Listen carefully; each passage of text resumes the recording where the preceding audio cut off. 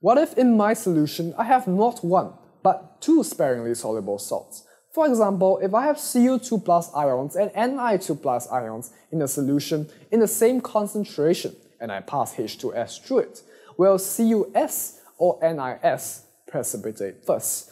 Here is where we need to compare the KSP values. Now thinking intuitively, if one compound has a higher KSP than the other, it means that it is more soluble and it is less likely to precipitate compared to another compound with a lower KSP value.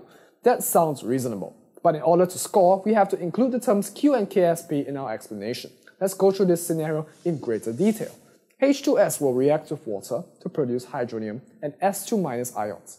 This tells you that if you want more S2 ion minus ions, you should shift the equilibrium right by putting a base inside. But going back to the problem, the KSP of NiS is 4 times 10 to the power negative 21, while the KSP of CuS is 6.3 times 10 to the power negative 36. As the concentration of S2 minus increases, the reaction quotients of both Cu, CuS and NiS both increase.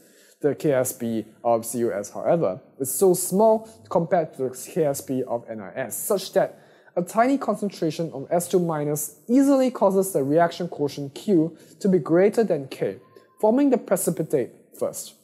For NiS, at a point where CuS precipitates, Q is still smaller than K, and you can actually go calculate that. Now, since only CuS precipitates, we can make use of this phenomenon to perform selective filtration since CuS will not be the residue and NiS will still be dissolved and it will be in the filtrate. So with that, this concludes the, uh, the checkpoint on precipitation.